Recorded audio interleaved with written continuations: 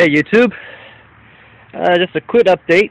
This is actually going to be my uh, my uh, video on my fuel injection conversion. Finally, after months of waiting, I was finally I, I finally have time to work on the car. Uh, basically, here's the uh, here's the intake manifold already bolted up. There's my coil packs with the uh, wire sets. One thing I gotta do is um,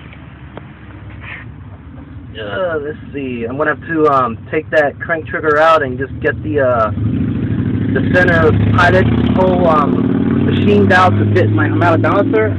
As you can see, the, my hydraulic balancer's got the Chevy bolt pattern as well, so I can use the Chevy crank trigger. I just gotta make the hole bigger. And right here, I just set this in there just to see how it's gonna look in the car. But eventually, I'm gonna set the the cam the the camshaft um, sensor. I'm going to uh, find a way to synchronize it to um, to operate my uh, my packs. And here's my throttle body. Oh, and also my transmission um, kickdown cable. I uh, took it out of a TPI setup.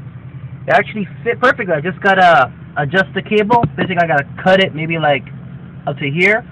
But I'm probably gonna give it a little bit more slack so, so that way I have some adjustment.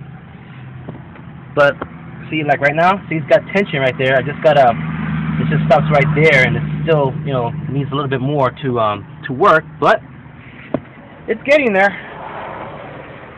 And also I already plugged up one part here on my uh, peak and hold as you can see I covered it with a aluminum foil just so that we could protect it from you know from, from it getting wet.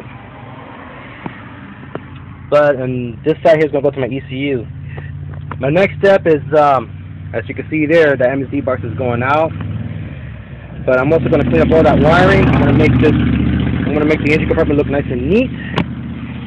And I'll be posting in my next video when I have the chance. Also, you know, also, also um, wiring up the computer and everything. And I'll show, and I'll, and I'll, I'll post a video of, of, of um, I'll post a video on, on the progress on how to set this up. Alright, well, until next time, I'll talk to you guys soon.